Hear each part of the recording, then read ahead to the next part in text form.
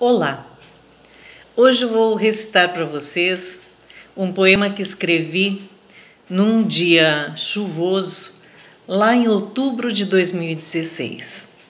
Me veio à mente este poema em função de que aqui em Pelotas hoje está chovendo bastante, depois de vários meses em que uma seca nos preocupava muito. Então, para vocês, relendo rascunhos.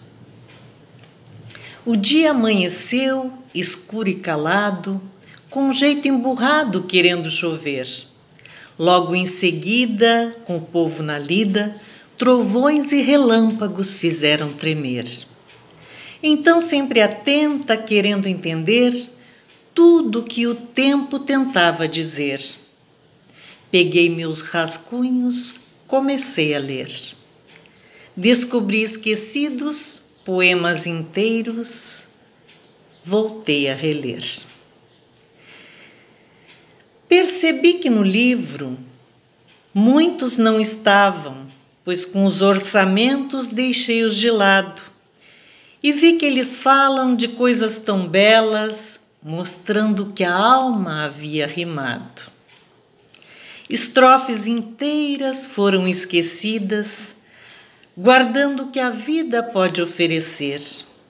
De repente, percebi que o tempo já não se mostrava o mesmo emburrado. A chuva já calma, o cantar dos pássaros, tormentas distantes já se pronunciavam. Acho que na certa se emocionaram com a força dos versos que por elas falavam. Pode para muitos ser uma bobagem essa minha conversa com o tempo falante, mas sinto um impulso aqui dentro gigante, junto a muita luz, sempre sigo adiante. Obrigada.